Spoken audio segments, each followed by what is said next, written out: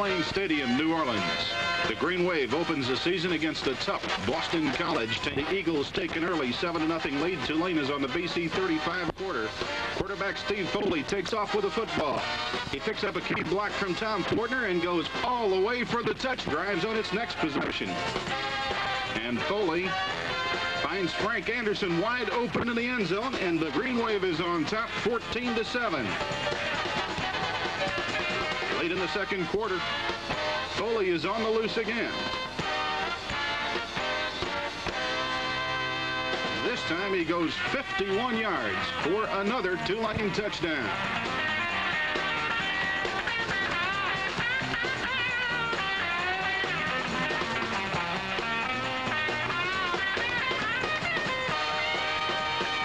Phenomenal Foley does it again, directing his blockers on another long run. This one is called back because of a penalty, but Foley has done enough. And Tulane wins the opener 21 to 16. Virginia Military comes in for game two. Foley gets things rolling in the first quarter. He picks up key blocks from Steve Wade. And Malin Harrell, watch number 71, cut his man down. And Foley goes 72 yards to score.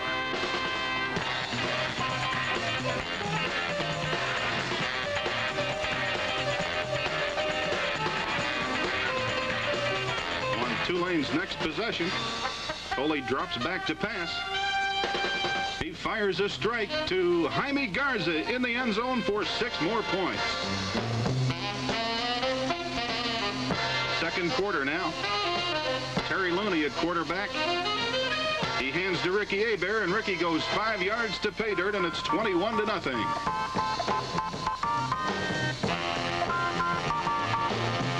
Foley in action again. He drops back. It's a long bomb to Frank Anderson. Frank calls it in, and it's a 50-yard touchdown play for the Green Wave.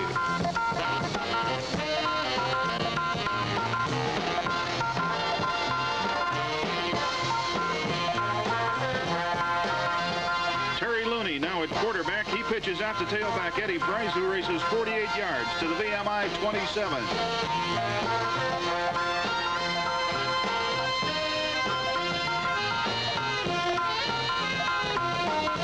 Three plays later on the first play of the final quarter, Price covers the final 11 yards for the touchdown.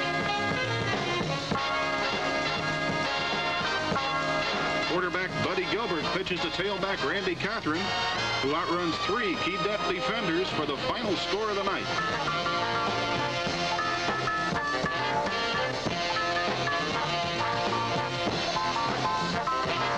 Tulane racks up an impressive 42 0 victory. The University of Pittsburgh campus provides a setting for Tulane's first road test. Pittsburgh Tony Dorsett gained 265 yards a week earlier, but here the Tulane defense stops him cold on a fourth down and goal at the one. Tulane on the attack. Foley at quarterback. Hits Frank Anderson with a 41-yard touchdown pass. A beautiful catch by Frank. Anderson, injured for the season later in this game, has caught his third touchdown pass in three games. Here's one of the season's wackiest plays. Tulane's Howard McNeil punting. The ball hits a Pittsburgh defender on the foot, and Darwin Willie finally comes up with the elusive pigskin for Tulane.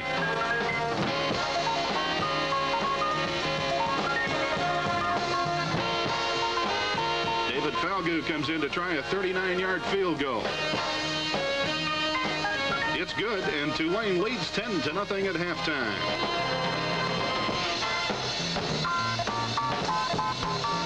Fourth quarter, Tulane on top 10 to 6 in a tight ball game. Terry Looney at quarterback.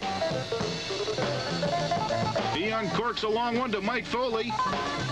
Mike outsteps the last defender and goes all the way to the end zone for the clinching touchdown.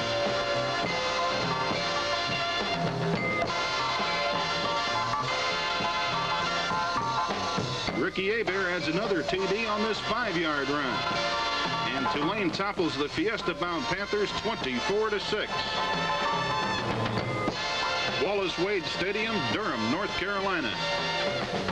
Tulane on the Duke 3. Steve Foley gets the first score of the game with a sweep for six points.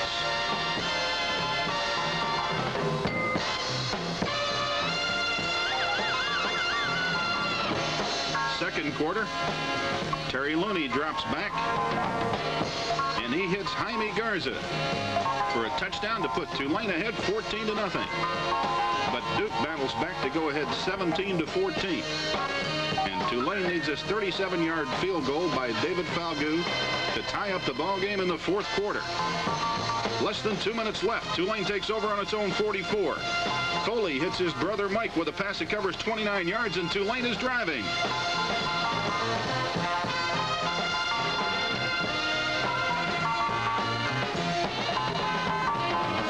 Fighting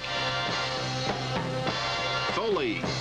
Hits Foley again for nine yards.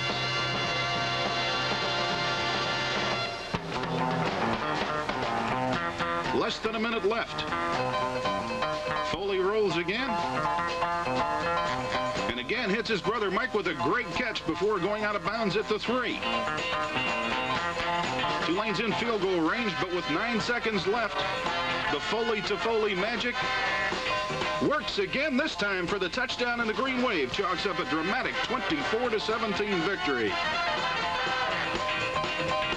The win runs Tulane's record to 4 and 0. Back home in Tulane Stadium, where a strong North Carolina team provides the opposition. Here's the opening kickoff. Carolina kicking. Freshman Martin Mitchell gathers it in for Tulane. And he takes off on a brilliant 42-yard return. Mitchell's run ignites a touchdown drive. Here, Steve Foley hits Jaime Garza for 13 yards. With the ball on a North Carolina 6, Doug Bynum powers his way into the end zone. And Tulane has an early 7 to nothing lead.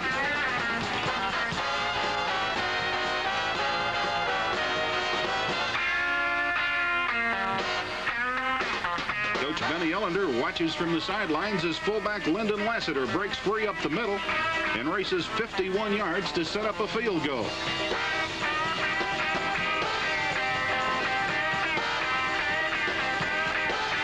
Quarter, Tulane's defense takes over as Mark Oliveri mistreats the ball carrier. Nathan Bell pounces on the loose ball.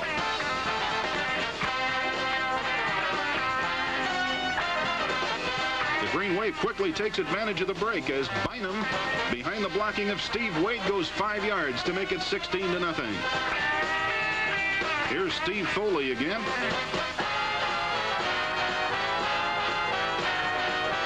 Breaking free here on a 34-yard run.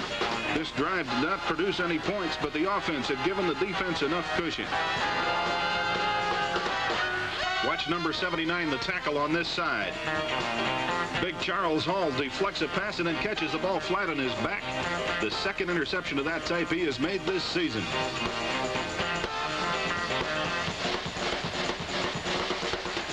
Fourth quarter, the Tar Heels drive to the Tulane 5. But the ever-present Mark Olivari comes up with another big play. And the shutout is preserved, a 16 to nothing victory. Georgia Tech rolls into Tulane Stadium to settle the battle for independent supremacy in the South before a big crowd of 66,000 people. Price breaks tackles on a 24-yard gallop early in the contest.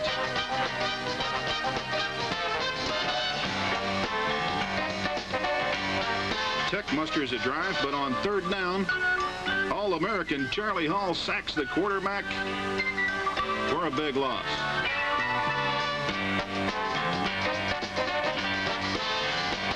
The game is still scoreless with Tech punting from its own 28.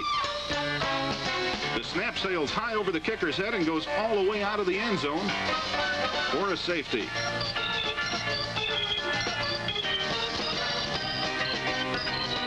Drives to the Tech 1, and Eddie Price cartwheels over the top for the score.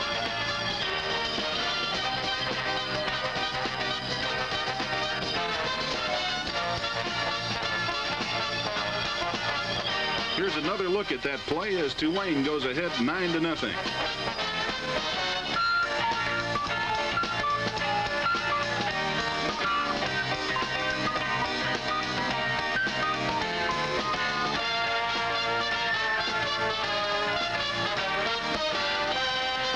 Second quarter after Tech has scored to make it 9 to 7. Foley rolling out, turns loose a long one. And brother Mike is on the receiving end for a 39-yard play.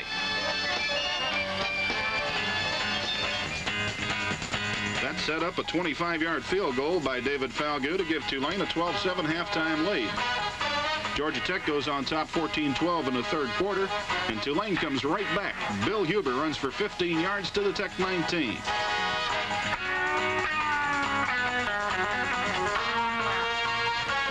On the next play, Eddie Price takes it all the way, and Tulane is back in the lead 20 to 14.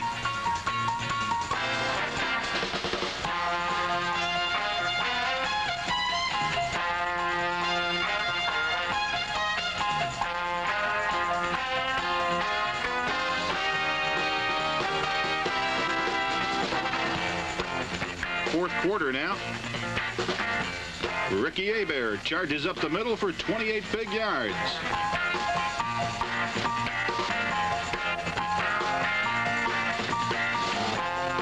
Later in that same drive, Terry Looney takes a snap, drops back.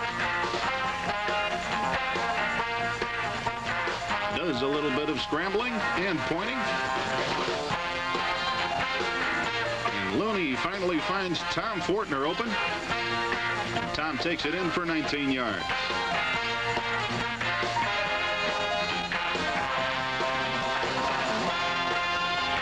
Falgout comes in to try a clutch 42-yard field goal.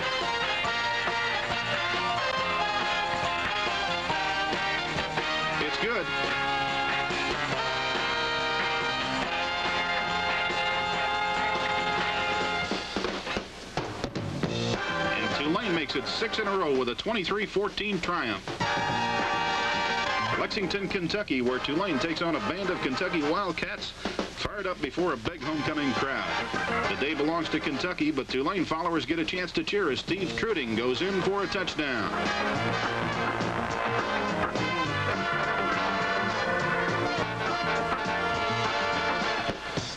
Runs like this one by the sensational Sonny Collins lead the way to a stunning upset.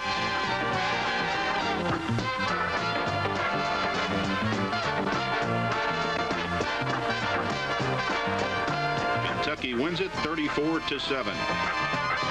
Back in Tulane Stadium, it's homecoming, and the Green Wave takes on Navy.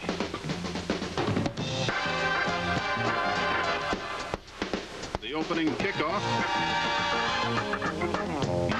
Mitchell working his magic again. He picks up great blocking down in deep. Breaks it loose, and Martin Mitchell races 91 yards all the way to the Navy nine-yard line.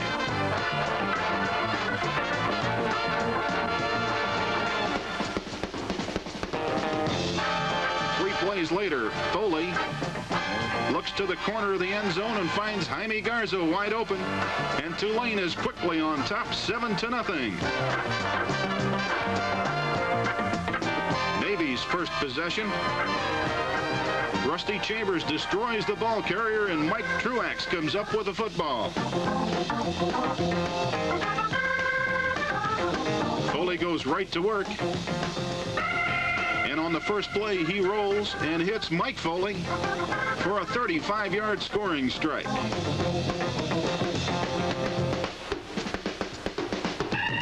Navy threatens in the second quarter, but Tulane makes a goal line stand as Charles Klein leads the charge, stopping Mike Yeager, short of Bader. Navy is knocking on the door again, but Mark Oliveri, number 65, slams it.